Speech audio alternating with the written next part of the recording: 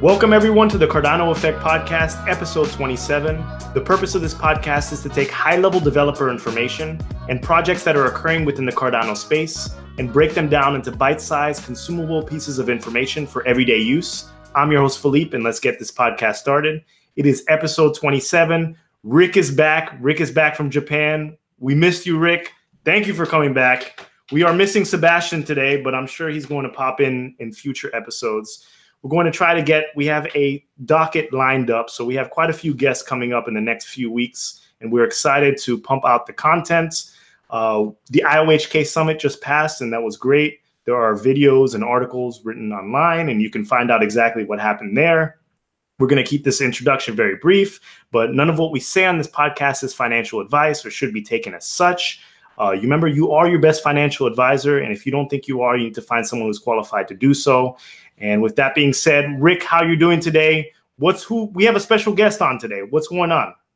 Hey, thanks, Philippe. Thanks for the introduction, and I'm glad to be back. Our special guest today is Marcus Hurney, and there was a broadcast that you guys did from the IOHK Summit last month that was uh, was really good. So we'll put the link down below for that broadcast, and we also have a couple other videos that we're going to link to those as well. And I'm glad to be back on. I missed the month of April, back here in May.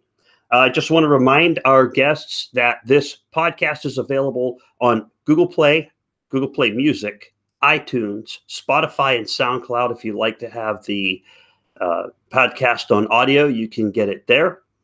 I've got a few bits of news to put out, and then I'll introduce our guest. And that is uh, the news is there is a meme contest going on on the Cardano forum. So if you hop over to the Cardano forum, uh, Sean Alamov is running a meme contest. The initial prize is a thousand ADA, and he put a donation wallet. If you'd like to donate, feel free to donate to raise the prize. One of the requirements in his meme contest is that you share it on at least two forms of social media. So please see the rules that he has laid out in that meme contest. It looks like a lot of fun. He has a really great collection of Cardano memes going already on the Cardano forum on a separate thread. So I imagine this meme contest is going to get pretty funny. I love what Sean has done so far, and I really look forward to this contest. Uh, one thing that I wanted to touch on for today's podcast, we had some questions. Uh, we always ask questions on Reddit, and it, it's really good for the viewers because it gets viewer engagement. Some of the questions, uh, they seemed a little pointed, but they were actually good questions. Um, some people perceive them as FUD, but they're not FUD. They're actually good questions. It's just that, uh, so these were asked by Reddit user Heineken007. There were five questions, and I'm going to show you how quickly you can answer five questions because otherwise, if you got to watch through a couple hours of video to answer these questions, but uh, what Charles did, Charles Hoskinson made a very special video to answer these five questions in under 12 minutes. We're going to link that video down below. But here's the basic idea. So Heineken 007. First of all, that's a very cool Reddit name. I like that. Uh, the questions are what is keeping the deployment of Shelley back? And the answer to that is that there are unforeseen things come up during the process of research that you have to compensate for. So it causes some delays, and it's typical of doing research on such an advanced project. Uh, question number two How many engineers and personnel are actually working full time on the Cardano network development? The answer is 50. Question number three Is there a different team working on Shelley? Yes. Uh, are the delays in Cardano development because engineers have been moved off of the Cardano project to focus on Atala? No. Is Atala the primary focus now while Cardano takes a back seat? No. There's the short version. Now, you want to see the long version, we'll leave the link to Charles' video where he gives a nice, thorough explanation on YouTube. And we'll get back to the remaining Reddit questions later on. So next, I would like to introduce our guest, Marcus Hurney. Marcus is a front-end developer at IOHK. Uh, he went to University of Georgia, where he was a former student of comparative literature in Mandarin Chinese. And Marcus has an affinity for language and a passion for technology. He sees programming as a unique intersection of these two disciplines. So, uh, Marcus, welcome to the program. Uh, tell us a little bit about yourself. What do you do? Rick, thanks for having me on. Philippe, thank you as well. Um, so, I am a uh, front end developer on the Daedalus wallet. And for those of uh, for those of you who don't know, um, front end development is where you're working on the user interface. This is the visual component of a website or an app that the user is interacting with. This is the, the part of the app that you can see and touch. Okay, thanks for that description because I do, I don't know exactly what a front end developer does or what part of the software uh, they do uh, that they work on. So I take it there's such thing as a back end developer and uh, other fields. How's that layered out? There's a back end, middle, front end. How's that go? So, yeah, basically uh, nowadays it's generally divided into uh, a front end and a back end. That's the uh, most typical delineation of the of the two layers. Um, so, like a back end developer would be working more on the the logic um, deployed on the server and uh, interacting with the database. Um, and then there's also uh, another component to the backend that is called DevOps. And this is a team or a single developer that would work on deploying an application and managing, uh, for instance, different versions of the application depending on where you're deploying it. So if you have something like Mac OS and Linux and Windows, then you would have certain specifications and special configurations for those three operating systems. Um, and then for something like a, a, web server, there's also you know different different details to how you deploy the web server depending on which service you're using. Like you could be spinning up your own web server and hosting it yourself, or using a cloud uh, infrastructure like um, Amazon or Microsoft Azure or Google. Cool. So, what's your favorite part on front end development? Is it the creation of new code, watching it come to life? Is it looking at the new GUI components that you created? What's the best part you think? Um, so it's a little bit of all of those. Um, I like the the part where you can actually make you know a visual relationship with the code. It's um, it's being translated into a, a rendering object that that you can see and adjust depending on how you want it to look visually. So if you're a visual learner, then you know that's um, that's one benefit to being on the front end. Um, and then also the the tooling that goes into JavaScript is constantly changing. Like it's by far the the fastest segment of um, web technology these days that is it's just evolving almost too fast for most people.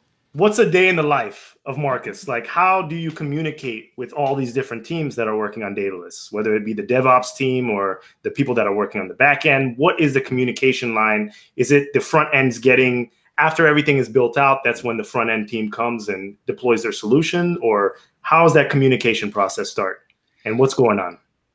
So we're mainly communicating on Slack, um, and then we also communicate through GitHub. So when we're making changes to the code and reviewing each other's work, then we'll be interacting with each other um, through comments on GitHub, and then you can mark certain areas of the code that um, are part of the discussion and th- those two areas, Slack and GitHub, are our main channels of communication. So you're talking about GitHub, and this word gets thrown around a lot. For the non-technical users who who don't understand what's going on in GitHub, what exactly does this mean for the project? What is GitHub? Can you explain to us the process of writing your code, putting it on GitHub, and it being deployed to the end the end user? Sure. So GitHub is a cloud service. Um, this is just a website that you can visit and you can create an account. And what it allows you to do is save your code in a safe way. And when, when you have a large project with um, many people working on the code base, there comes a point where you can have many different versions of the code base at once. So if we take a, a, a code base that looks a certain way today, and then you're responsible for building a feature, and I'm responsible for building a feature. We we don't want to try and manually piece back together our our changes and add those new features in. So what GitHub lets you do is have different branches of the code base and when you are working on your feature and I'm working on mine, they don't um, conflict each other. They don't overwrite each other's code, and you can cleanly combine them when two separate features or branches are, are ready to be merged together. So it it helps you safely organize your your workflow and changes to the code base and have a backup as well.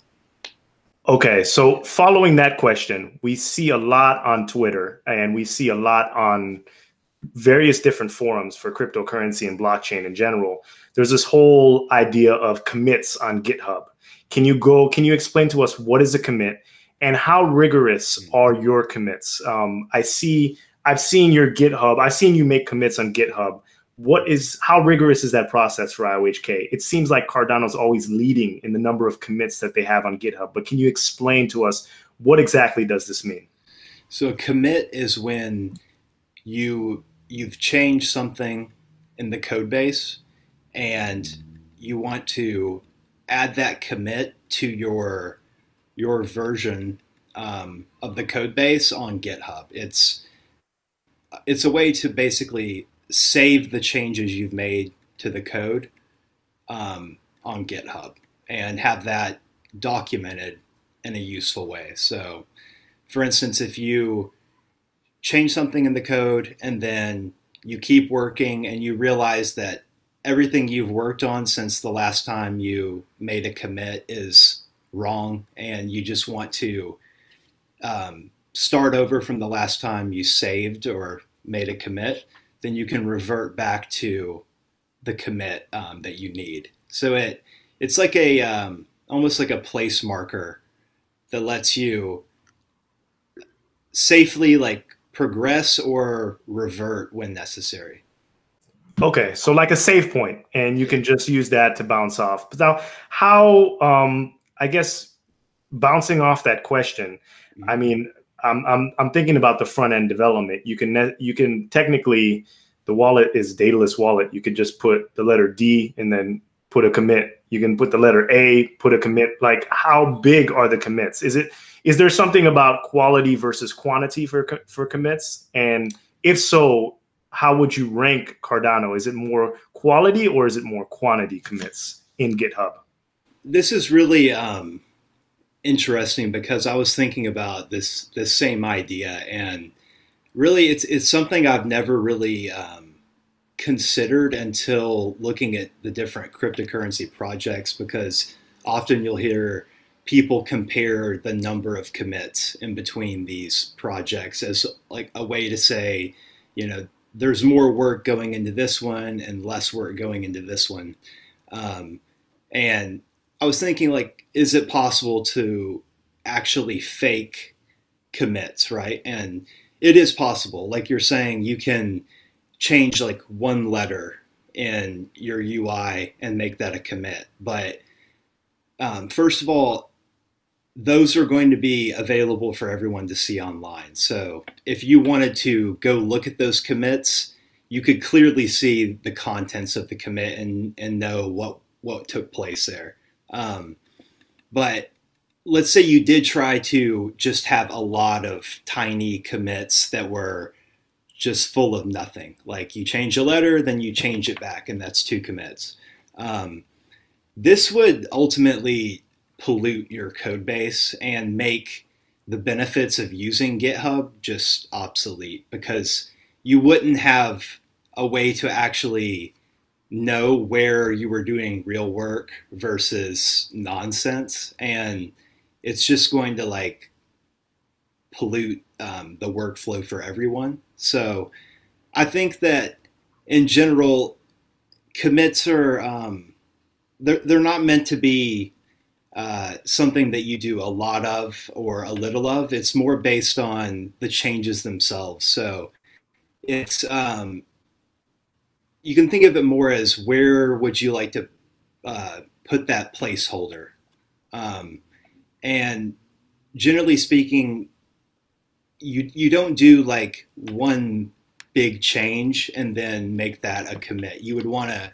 logically separate the changes up into pieces that make sense.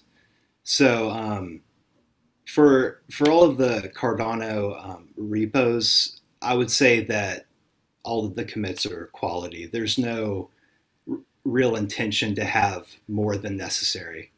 Yeah, I'm glad you clarified that because uh, a lot of times what Philippe was referring to, you'll see on Twitter is people say, all right, uh, Ethereum has the most commits and Cardano's number two and Bitcoin's number three.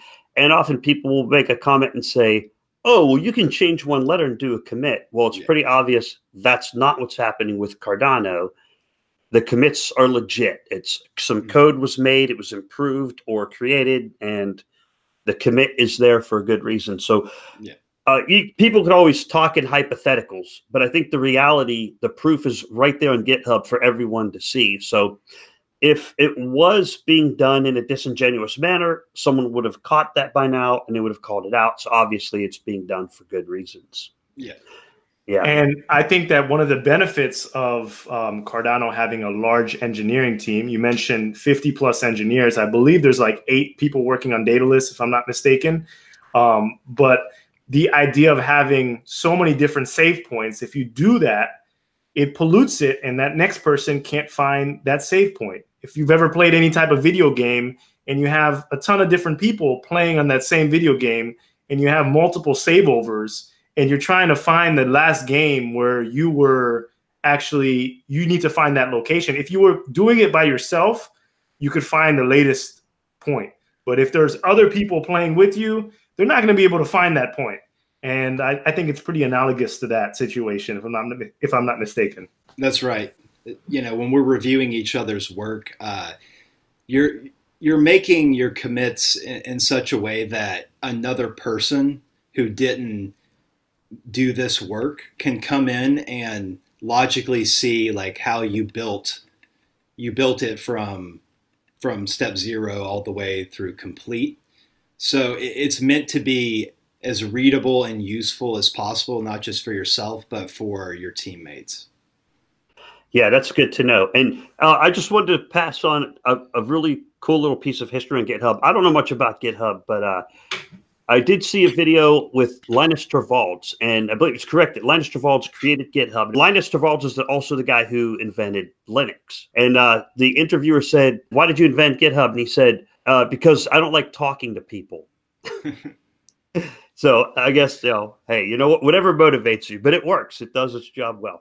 So I have a question more related to Daedalus as well, and that is, um, how many different languages are used to actually create that interface that the user interacts with the entire Daedalus itself? Is there like Haskell is a chunk of it, and then there's like a RocksDB database in there somewhere, and then the front end is JavaScript. How's it broken out?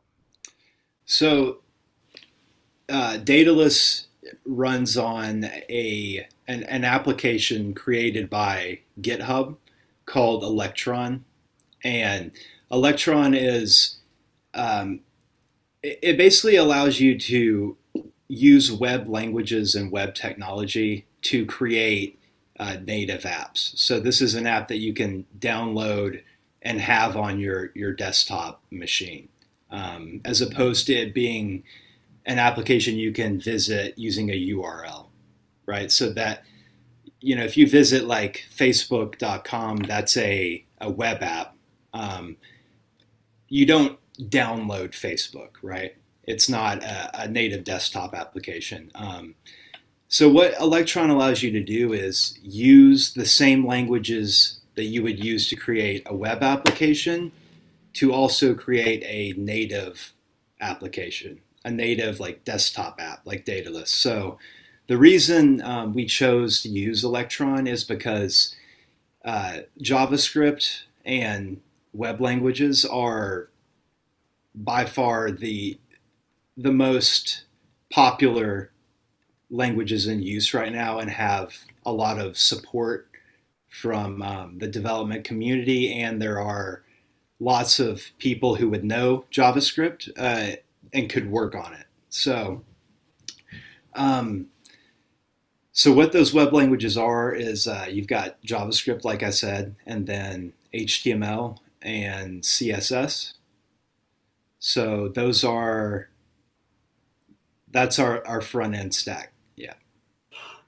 Okay, cool. And so these different uh, parts, I'm glad you clarified what Electron was. I had it confused with Electrum wallet. It's, it's Electron is the technology. So the front end stack is those language you just described. Mm-hmm. Then the back end, the thing called Cardano node, where it actually communicates and handles transactions. Mm-hmm. That's in Haskell, or what is that in? So right, the wallet backend is uh, written in Haskell, and then you know there's also um, a Rust implementation, but I'm uh, I'm not sure what what the status is on um, those two separate repositories, but um, they're not using JavaScript, HTML, and CSS. These would be Haskell and Rust. Okay, and so to the user, what we're looking at is the JavaScript front end. It's kind of like kind of like a web browser, right? I'm, when yeah. I'm looking at it, it's a web browser. That's exactly right.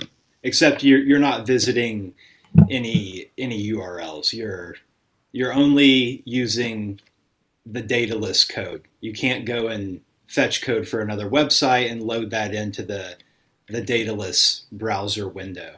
In a sense, it, it's not a browser, but it's it's very close to the same as um, Chrome. I had a, another question. So this is a little bit maybe on another tangent, but um, we know that Cardano is a very mathematically rigorous project. They use formal methods. We had Philip and Jared a couple podcasts ago, and they were describing the ledger spec and all the specs for Cardano. So, you know, there are formal methods to describe what this project is doing. But as a front end developer, I feel like you're kind of a little bit immune to that because while the spec may may deal with the the Haskell client that builds Daedalus on the front end, do you have any more creativity? Is there a spec to say how how creative you can implement the front end of Daedalus, or is it is it free for all, or is it more like you are following a certain structure that um, IOHK wants you to follow, or is it you you have some sort of freedom in that sense? So there's there's definitely a, a, bit more freedom in the way you can write the code. Um, so, so like when we're developing a new feature or just the front end of the wallet itself, it's all it all goes through the same development cycle. And so the first thing that would happen is you would determine um, a feature and what it should do, and then that is turned into uh, a mock-up and what a mock-up is is uh, it's a, a digital representation of how the front end should look. It, it really is. It, it's almost identical to the actual front end that runs in Electron, um, but it's it's an image. Um, so like it could be a PDF, or you can use like um, Photoshop to create a mock-up, or Figma is like another popular mock-up tool. And once you you have a, a designer come and make this mock-up, um, he or she will specify like these are the colors we're using and these are their their values and CSS and the the paddings and margins um, should be this many pixels and the font is this font um, you know, th- there should be a shadow here, and then here's the CSS for the shadow. So you can make it as specific or non-specific as you want, but essentially you're you're given a, a mock-up, and then you turn that mock-up into JavaScript, HTML, and CSS. Okay. Okay.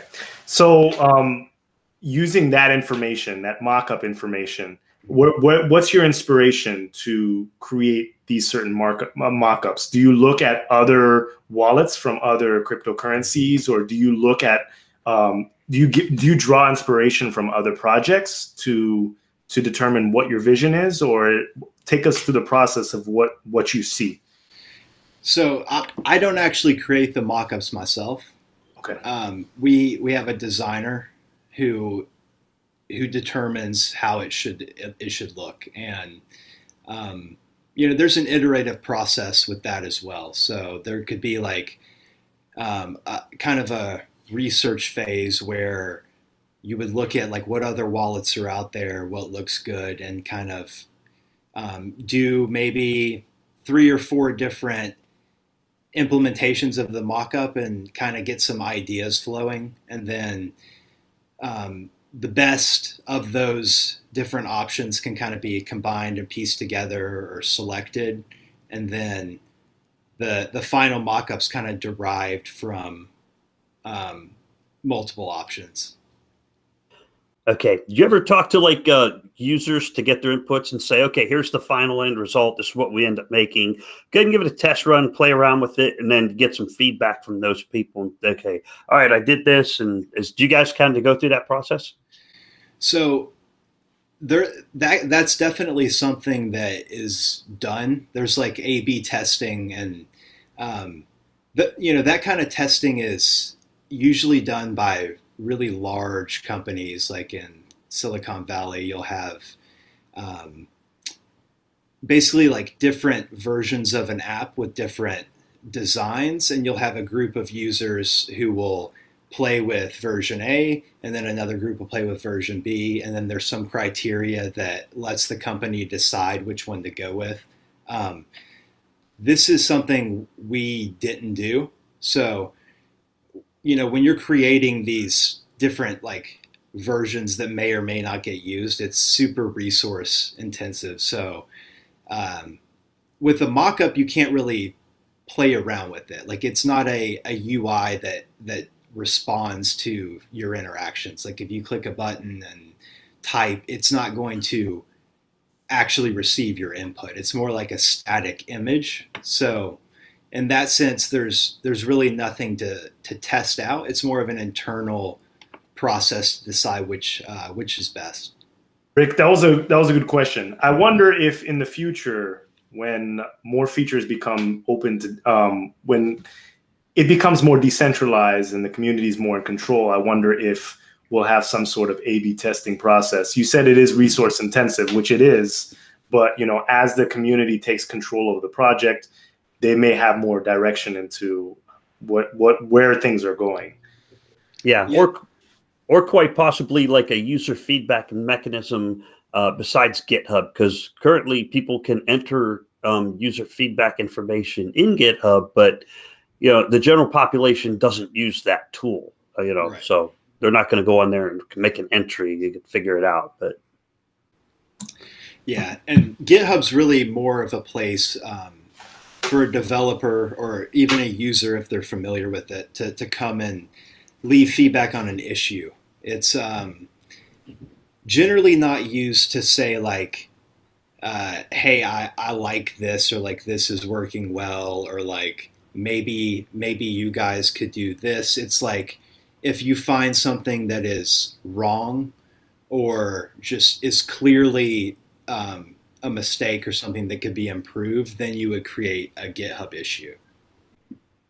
Okay. Yeah. Yeah and a lot of time the only user feedback you get is on twitter which is like probably the last place you'd want to be getting user feedback but sometimes that's the only place you actually get it. Yes. So um I don't know if we want to move to the Reddit questions now and um, see what's going on there, and then maybe we can wrap back at the end with some final questions that Rick and I had. If that's okay with you, Marcus? Sure. Okay, yeah. sounds good. Rick, do you want to start off the um, Reddit questions? Yeah, I'm going to start off with the Reddit questions. Our first question is from Reddit user DFX1212. Thank you for the questions here, DFX1212. The first question is What's it like to work at IOHK? He has other questions. How does it compare to your previous jobs? and walk us through the technical stack you use. So let's go to the first question. What is it like to work at IOHK? So overall, uh, I like it quite a lot. Um, so it's different than most jobs that uh, an engineer would have. Uh, I'd venture to say, just based on the fact that it is a 100% remote team. Um, this is something that is you have to get used to it and figure out how to make it work best for you. So I'm working from home every day, and it's the sort of thing where you you can easily get distracted, or you can set it up so that it's quiet and comfortable and less distracting than an office environment. But it it doesn't just work automatically for most people. It's something you have to put effort into to figure out how to make it fit your personality. So this is like a, a learning curve that I've had to, you know, get better at. Um, overall, though, I do like working from home because it's. I actually find a, an office environment more distracting than um, people realize. Uh, it's it's not something you really can can tell the difference between until you've worked from home and then you've also worked in an office. But for instance, like at an office, you have a lot of people wanting to talk and just do a million different things that are unrelated to work. Um, but at home, you, you know, you can just be by yourself and you know, for some that might really boost their productivity, and I I tend to like uh, the quietness of being at home. So um, another challenge with working for IOHK is just the online communication. So since we're using Slack and, and GitHub to talk to each other, it requires um, just a certain level of willingness to put in the effort to make your communication clear. Um, you know, if you're someone who doesn't like to, you know, describe things through written format, then it may be a hassle, or you may have your your, your meaning behind something just misconstrued because you're not detailed enough, or you didn't give context. So, you know, you're always operating under the the assumption that you need to be as clear and comprehensive comprehensive as possible when you're explaining something to your teammates. And that definitely takes a bit of extra work.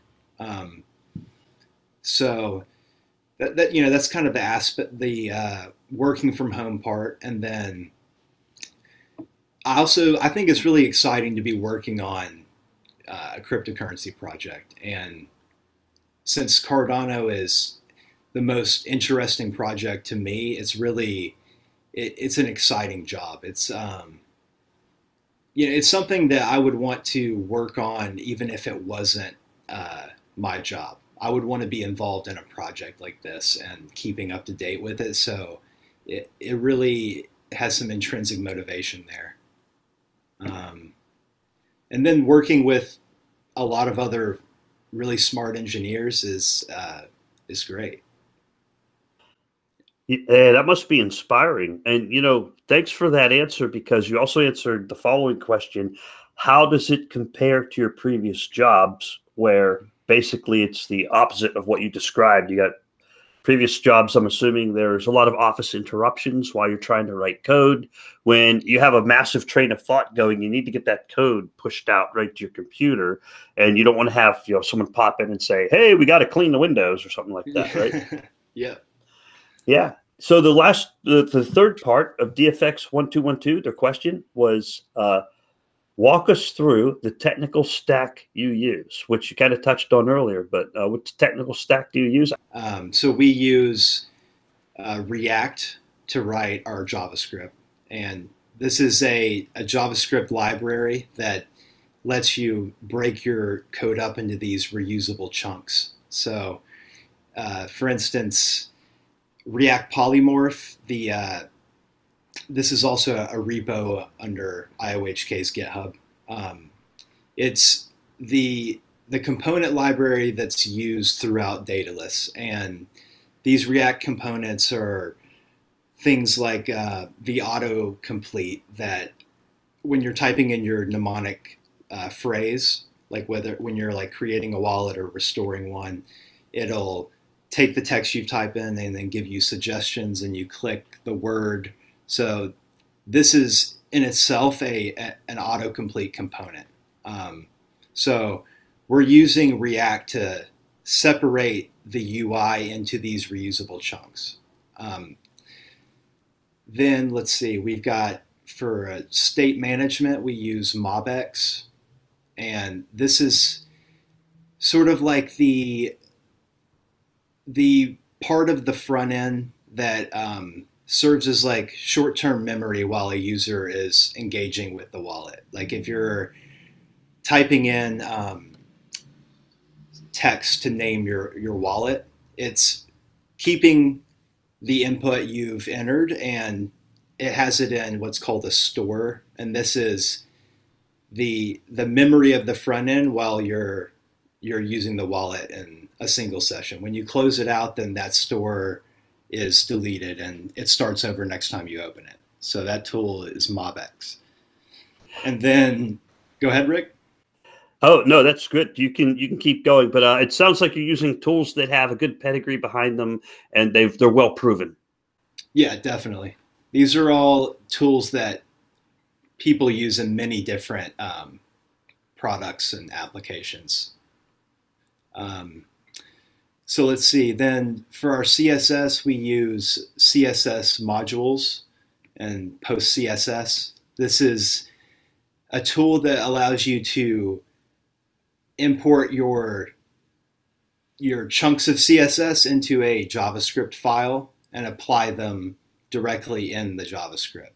So it, it also kind of works like React in the sense that you can create separations of your your CSS code in these in these chunks, and it helps with organization that way as well.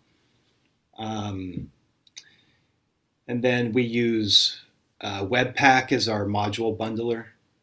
And this takes all of the code and compiles it into a, a version of the code that the uh, Electron Chromium browser can understand. So it really it takes it all and creates a bundle. And this is like one giant file that contains the code for the entire app and then it loads that into Electron. Um, it's pretty complicated and tedious. Uh, a lot can go wrong with with Webpack, so that's a fun little part.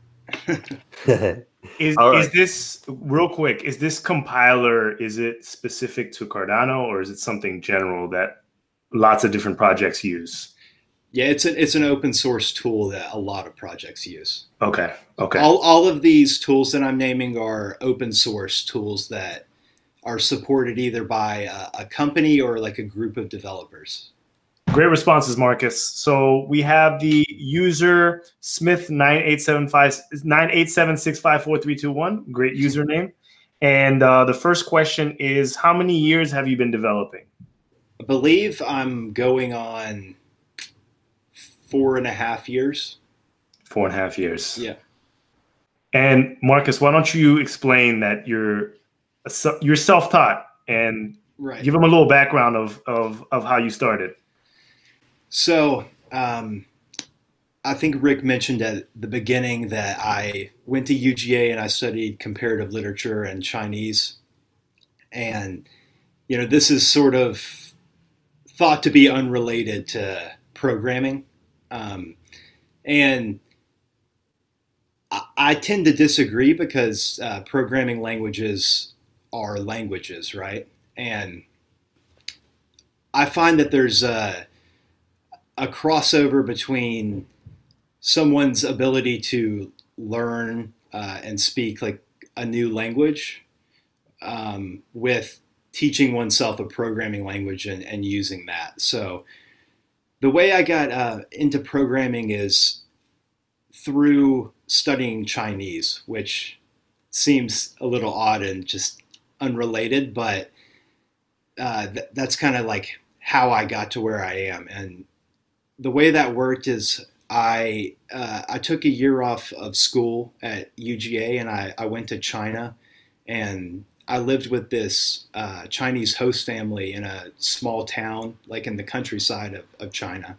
And the point of uh, moving there was to learn Chinese. And this uh, host family, they didn't speak any English. And at the time, I was 20 years old. It was my second year of school. Um, and I, I, I, knew that in order to really learn Chinese um, in a way that's uh, you know, not something you just forget at the end of a semester or at the end of a year.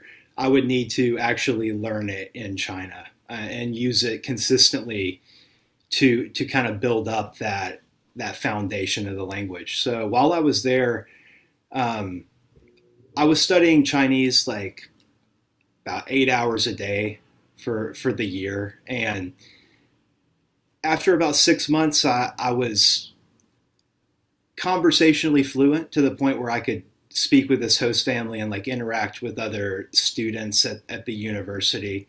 Um, but what I really loved about that year was the process of studying Chinese itself. And it just, it felt like something that you could study for years and years and really never uh, say, okay, I, am done. Like I've learned it all.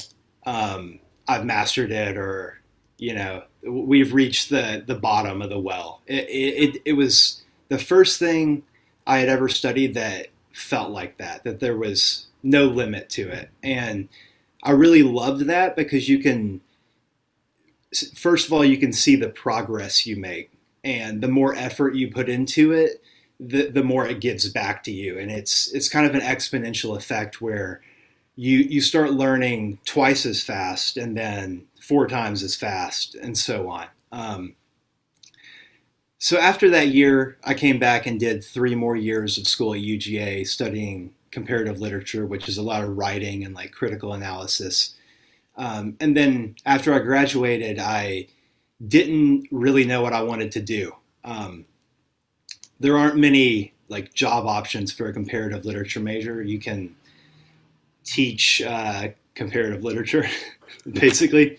Um, you can, you know, try to write uh, content for like either a, a magazine or online website, but that didn't really seem that attractive um, to me. So what I did is I I moved to Saigon, Vietnam, and started teaching English there. And while I was there, I was kind of weighing my my options and like trying to figure out what I actually wanted to do for a career. And I I, I looked into programming and I started to learn um, Python. And I quickly realized that programming is itself like learning a foreign language, um, just like Chinese was, and that also it's the sort of thing where there's no end to it. You can put in a lifetime of, of learning and you still won't really know everything. It, you know, because it's always changing.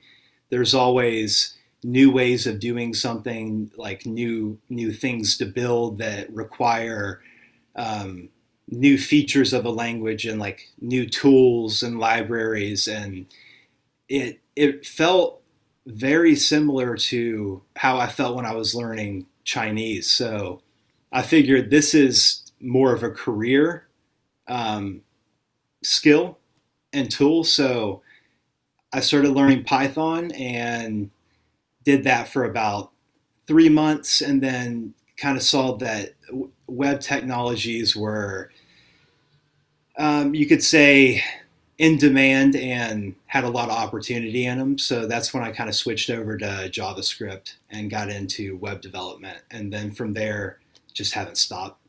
Yeah, that's a fascinating life story. Thanks.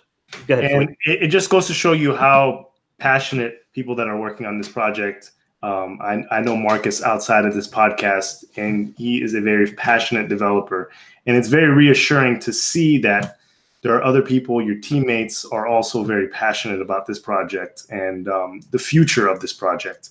So, moving forward to the next question mm-hmm. um, from Smith, he also says, Is JavaScript a real language? You can answer that if you want. A real language. Yeah. Um, I would say it it barely qualifies. Okay, great response. Last question. It's a two part question. Do you smoke weed? And can weed help me code? So he's obviously an aspiring coder who who may be growing some plants wherever he's at. So, what do you so, think, Marcus? well, despite living in San Francisco, um, I do not smoke weed. Um, and then, as far as does weed help him code better? Um, I think experimentation and trial and error will be the way to figure that out. I, I can't say for sure. Okay, that's a great, great response. okay. Okay, Rick, you want to get the next question? Yeah, yeah. So yeah, occasionally if we have some of these really kind of oddball questions come up on Reddit, you know, we'll go ahead and ask them. Okay. okay, guys. Mystical Writer asks, how is the front end separated from the back end? And who designs the user interface? Let's start with how's the front end separated from the back end?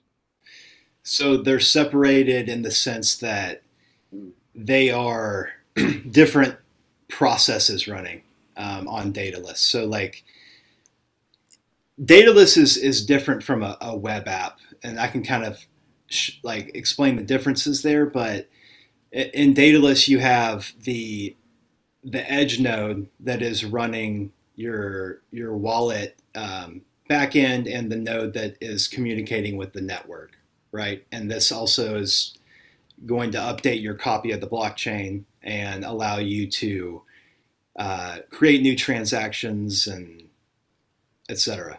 Um, so it, it's this is a, a separate process from the Electron process that is running the front end. Um, they are related to one another, but you could easily say they're they're two separate applications, but they're they're designed in such a way that they know how to communicate with each other. Okay, and that makes sense. Um, like when I've opened up the app before, open up the system monitor or the system processes list. There's a couple apps called Daedalus and Daedalus Helper, and there's another app called Cardano Node, and I'm mm-hmm. assuming those are the front end and the back end. Yeah, pretty much. Yeah. yeah. Okay, cool. Uh, so the the other question from Mystical Writer is, who designs the user interface? I'm wondering if they're asking the name of the person or the name of a company or a contractor. So the the designer is uh, Alexander Sasha. I believe uh, I pronounced his name correctly, but um, yeah, he lives in um, Russia, and we work closely with him. He's he's uh, just recently started working full time um, with the Daedalus team to do his design work, whereas previously I, I think he was helping design other um, products for IOHK, um, but now he's solely focusing on Daedalus. Okay, cool. All right. Thanks for those answers. And uh, is there anything you can secretly leak to us on the podcast? I take it no. Well, that wouldn't be much of a secret, right? No, it wouldn't be. Okay. All right, Philippe, you want okay. to you want to take give me the coins? Yes. Yeah. Give me the coins. Ask um, first question: What web apps are you currently working on? I work on Daedalus, and yeah. then I also work on React Polymorph, which is the component library. Okay, that's yeah. good. Um, next question: What are you looking forward to in the next year, in the next five? So over the next year, I'm pretty excited to uh, just get the, the whole staking UI built out. Um, we've started working on that, and so the, this is exciting for two reasons. Um, one, it, it's a brand new feature, so we're building everything to do with with staking and Daedalus uh, from scratch. So it, it's always fun to to build something completely new, and then also it, it's such a you, you know new technology as well that it's fun to build something that doesn't exist.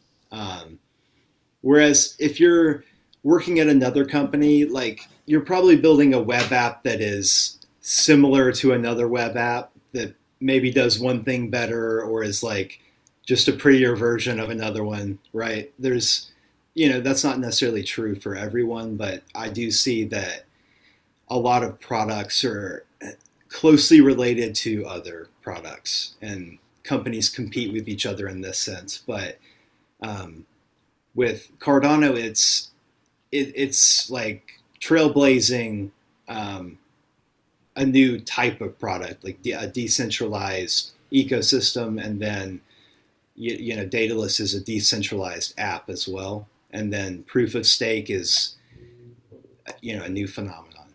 That's so, very interesting. Very interesting. Uh, Marcus, we are together in the staking presentation at the summit, and they displayed some of the some of the graphics of what's what it's going to look like. And um, uh, can you can you lead us into whoever was at the summit? I mean, I'm, i think it's online as well.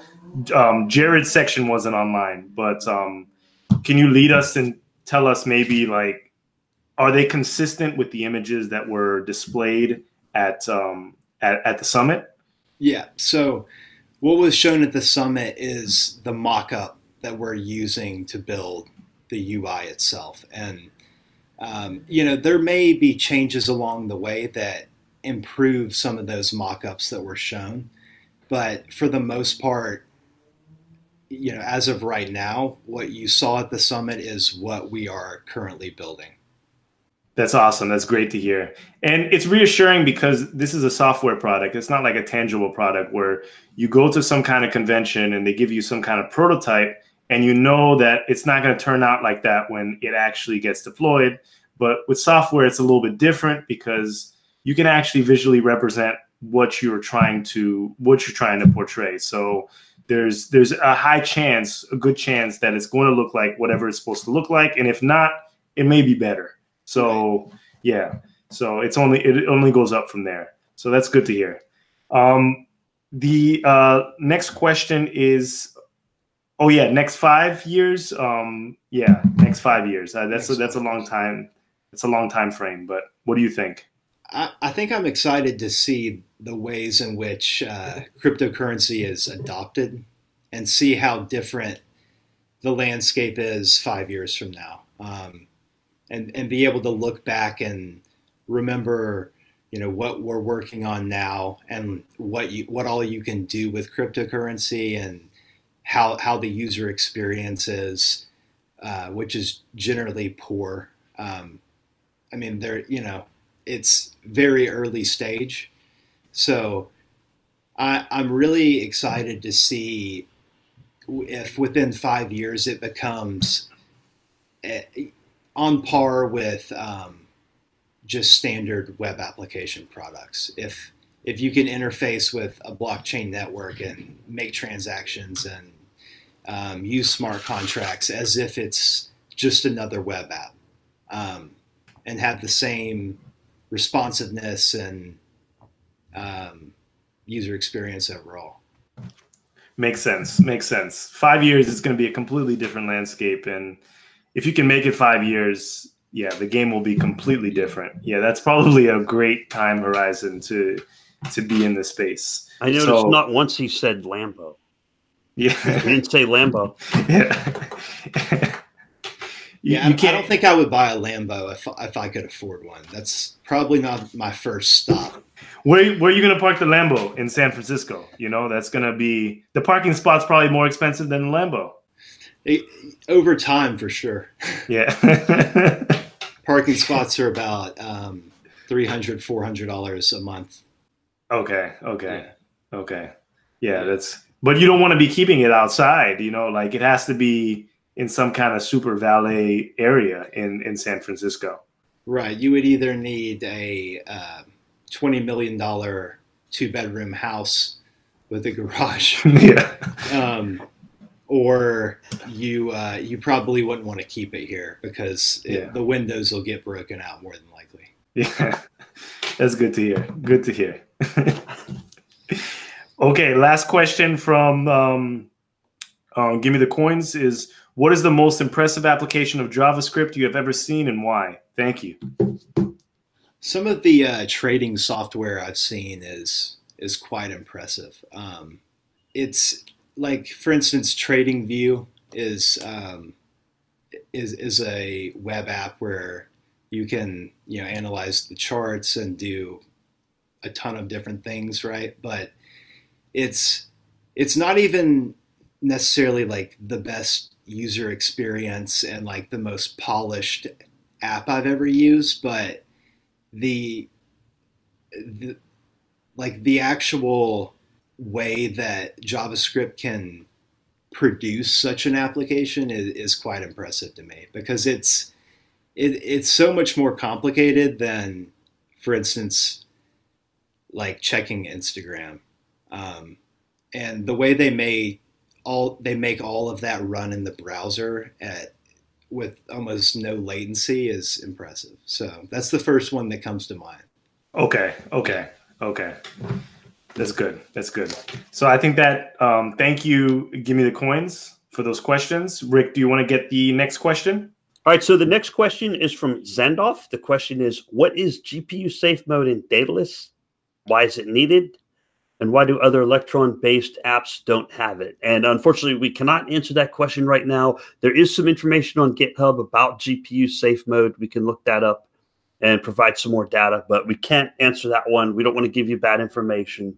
So uh, we'll go to the next one, Nate Lovell. And uh, Nate asks, Reddit user Nate Lovell asks, what do you think of React if you've used it? Now, you mentioned already that you have used it. What do you think of it? I definitely like React. Um, it's uh, more flexible than a lot of other JavaScript libraries out there. And I like how it, it really allows you to do as little or as um, as a lot as you want. Um, you can you can make it in such a way that other developers can really combine their own needs into um, the components so that it can it can be like strict so that a component only does a certain set of functionalities, or you can kind of leave it open ended and like uh, like with React Polymorph, that was really the way we made that library. Is you can add your own styles or your own HTML and essentially rendering, or you can use everything out of the box that we provide, um, or just use the logic and um, add your own uh, theme, but then use our HTML. It's it's really a way to to keep it lightweight but powerful. Yeah, the powerful flexibility is kind of what I get from that. Um, yeah. And plus, you can either manually create your own stuff or you can use pre built stuff. Sounds like a pretty good app. Yeah. Cool. All right. Uh, so that was it from Nate Lovell. Thank you, Nate, for that question. Last one, Philippe. Tag, you're it. This question is one of those. okay. All right, Marcus. You can take this question how you want. Um, once again, we have Marcus Hurney, a front end developer for Daedalus, answering this question. We do not have Charles Hoskinson. So if you do not feel comfortable answering this question, I completely understand. And the username is Adenoma, and he's, he's um, this person said, "Can you give the community can you give the community categorical assurance that Shelley will be completely rolled out the mainnet before 2020? Categorical ins- uh, assurance." And I believe that Charles the other day said if if it if it's not before 2020, he'd eat his shoe. So, um, you know, what kind of assurance can you give the people? Yeah, you know, it's not really possible for me to speak about dates and, and timelines because a I'm not working on like the actual Cardano blockchain, right? So that that's a separate team from from Daedalus, um, and then also I'm also I'm not setting the release dates and and timelines and announcing those publicly. So, it, you know that I'm probably the wrong person to ask that question to, um, but I would uh, say that I would personally be surprised if um, we didn't see a lot more released by 2020. Okay, we'll leave it at that. I would be surprised personally. Yeah. Yeah. We don't need anyone coming after Marcus if, if something goes wrong, you know. It's uh yeah. And Philip, can I answer that question? Yeah, go for it, Rick. I have an answer for that question. It's actually a pretty accurate answer for any of this software. And the answer is is some form of Shelley going to be out by 2020? Yeah, some form of Shelley will be out by 2020 where it will be functional. But Cardano will never be done. It will be under development forever. That's why there's a treasury. So the Shelley we have today will probably be the baseline Shelley for years and years to come. But the underlying technology, it might change a little because that's just how software is. I mean, the Microsoft PowerPoint that I use today is not what I used 10 years ago. It's, very, it's a little bit different. It does the same thing, the capability is the same, but how you get there has changed. So that's my take on those kind of questions. Yes, the technology will be out. However, you're still going to see it morph over the years. Cardano's never going to be done. Yes, I agree. And guys and girls who are Cardano advocates and Cardano enthusiasts, we have one chance to get this right when we deploy it. Um, if it's deployed and it has bugs or it's very incomplete, there's always going to be iterations that we're going to add on to Shelley. But if we release an incomplete product, we're not going to be able to roll back the time because once the staking pools are are participating and epochs are being completed, you, are not going to be able to roll that back to previous epochs and change the rules for those previous epochs. It's going to mess up the entire system. So we want to make sure it's done correctly the first time. I know the patience level is is is is teetering and everyone wants to get involved, but once once it gets released, it's not like IOHK is going to pull it back and say, you know, we're going we're going backwards. We hit the main net. I'm going to bring it back to testnet and bring it back to the federated nodes that they're running right now. Once it's ours, it's ours, and um, we just have to we just have to be patient.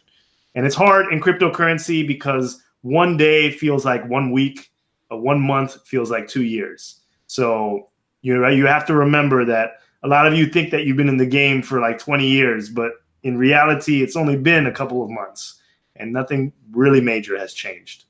I don't know, Marcus. Did you want to add anything to that?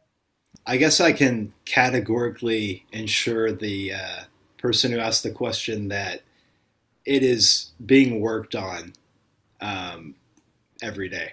So th- there's no question that uh, progress is being made daily, and you know it, it's just a matter of time. It's not a matter of if. Yes. Yeah. Yes. The resources are being, being put out, and you can follow the project on GitHub, and you can make sure that everything is. But commits are being made consistently, yeah. and papers are being written. So it's a process. So that completes our Reddit questions. So I want to thank all our Reddit users. I had a couple like end, ending questions for you. And, um, you know, I, I wanted to phrase this question correctly in a way that doesn't make you feel uncomfortable.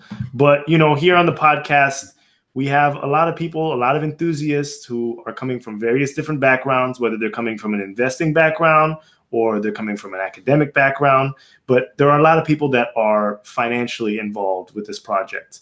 And can you give us a landscape? And it doesn't have to be personal, but maybe it can be um, more of a community thing be, behind the behind the scenes of IOHK.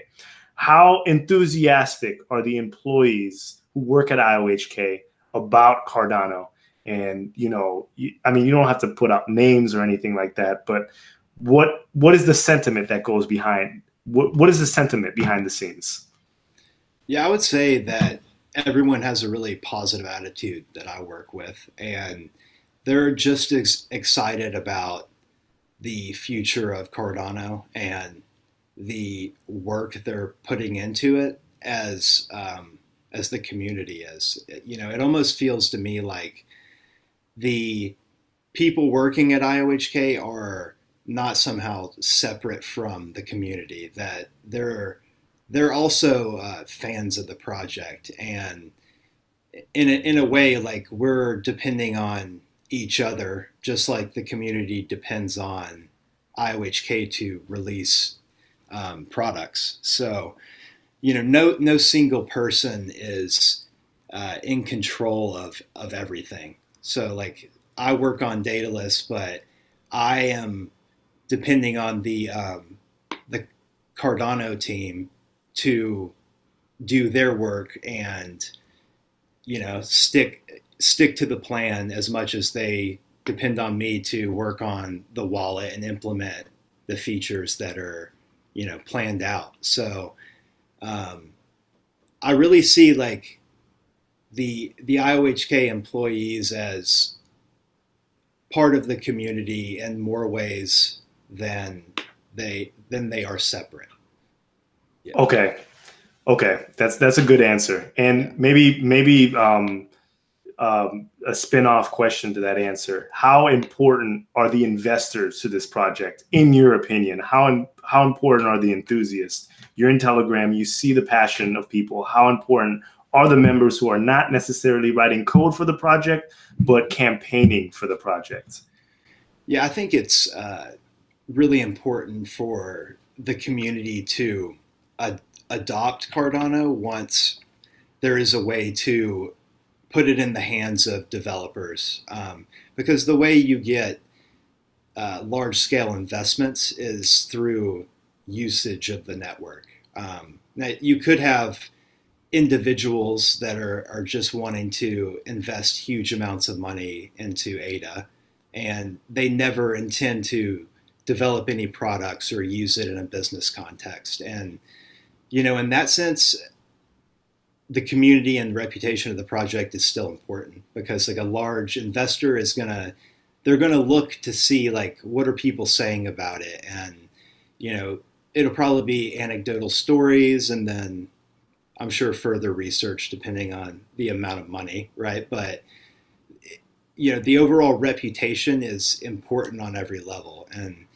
so i think in terms of the community adopting it um, the actual developers who will be building on Cardano, uh, it's important to to make their lives as easy as possible when they do want to use the tools, um, because adoption is at the end of the day a matter of developers building using Cardano. So if if it's a pain in the ass to use and it's uh, you know a bad developer experience, then they probably won't want to build on it. And if they are helping um, someone high up in a in a company decide whether to build on Cardano or another another blockchain, then their opinion is going to be really important. Um, you know, the people with the technical uh, know-how are the ones who are going to be influencing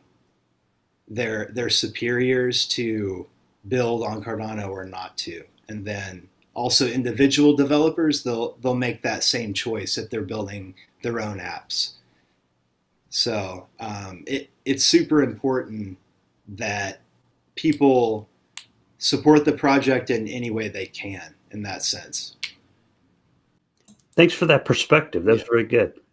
I wanted to ask you, um, you know, are there any the, you're very familiar, you're very involved in the blockchain space, you're very involved with Cardano.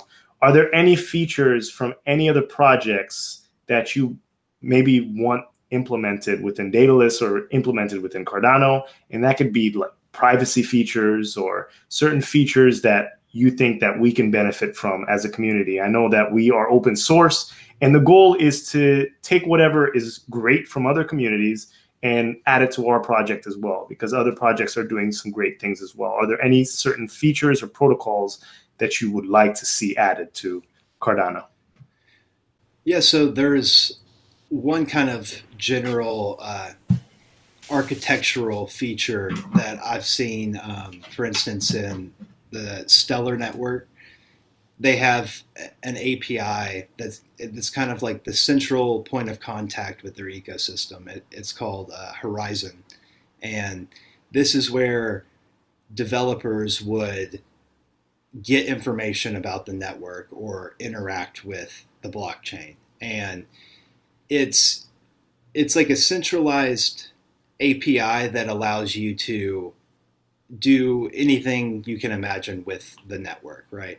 Um, and with Cardano, there's a, a, a similar um, development process going on to create a GraphQL um, API that kind of connects all the different facets of the Cardano ecosystem into a location where it's consumable by developers. Um, so I think that that feature is really important, and you know, you may be having uh, the guys working on that onto the show in the future, like Rhys and Sam. Okay. Um, so that you know, I won't go into any details about it because I'm sure they could do a better job than than I can because they're working on it. But that um, that API layer where the developers get familiar with the ecosystem and use it is super important and yeah, a feature that I'm looking forward to. Awesome. That's great to hear. Thank you, Marcus. We had Marcus Hurney, the front end developer for Daedalus. Thank you so much for joining us. We appreciate you. We appreciate your time. Um, do you have any last words for the community? We'd love to have you back on in the future, and um, this was a pleasure. Marcus, the floor is yours. If not, I'll wrap this up. Um, I think think we covered it all. Thanks for having me. Okay, that's awesome.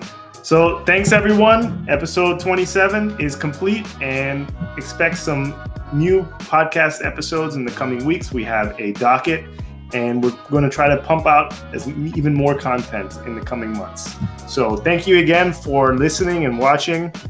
Drop a comment below. And once again, the best thing you can do if you're watching this and you're not subscribed to the Cardano Effect, please just hit that subscribe button, hit that notification bell, put them, put some comments below, like, share, comment. We, we're really trying to push this podcast up.